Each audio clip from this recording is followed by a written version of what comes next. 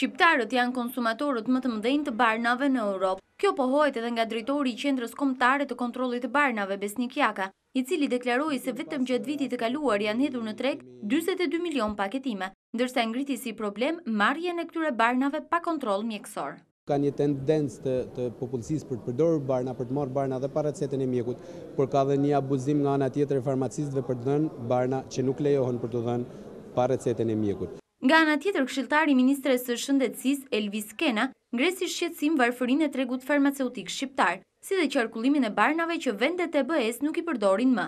Kloramfenikoli në tregun europian nuk përdoret më për njerëzit. Tregu ynë farmaceutik ka të regjistruar rreth një mijë e nëntëqind, dy mijë barna, nga këto aktive duhet të jenë shumë më pak. Pikërisht për të diskutuar në lidhje me përmirësimin e këtij sistemi, u mbajt edhe konferenca e parë farmaceutike. gjatë të cilës Ministrja e Shëndetësisë Anila Godo kërkoi reformimin e sektorit farmaceutik shqiptar me modelet europiane. Do të ishte e mangët, do të ishte pa sens e pakuptimtë dhe pa asnjë impakt pozitiv në praktikë, nëse ne do të drejtonim vëmendjen vetëm në hartimin e strategjive të mëdha terapeutike për patologjitë e ndryshme, në unifikimin në rang nacional dhe europian të këtyre strategjive terapeutike, nëse Jo, paralelisht nuk do të punonim për reformimin dhe unifikimin, përafrimin e modelit tonë farmaceutik me modelet europiane. Konferenca farmaceutike u organizua nga Ministria e Shëndetësisë